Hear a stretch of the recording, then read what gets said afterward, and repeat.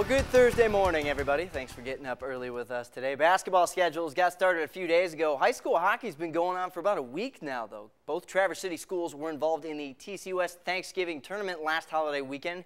Trojans made the championship round of that tournament before falling 4 to 3 to Lake Orion. So no doubt that's a motivator for the Trojans in their conference opener last night at Howe Arena against Petoskey. Both goalies, we know they're ready to go. Already up 3-0 Trojans looking for more. Parker Hebden takes the shot. Michael Whitaker in goal keeps the shot from going in. Midway through that second period, Petoskey finally gets on the board. Mike Fortin centers. Damian Spencer gets two shots. Second one is good enough to slip past the keeper but little time to celebrate. 24 seconds after that, Trojans respond. Andrew Frey's slap shot tipped in by Hebden. Trojans go up 4 to 1. Each team gets one more goal.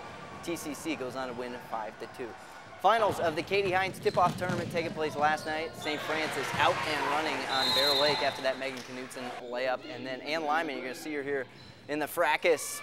The ball gets tipped loose by Lyman, and they throw it up to Suzanne Britton, who's all alone coast to coast. Easy lay-in.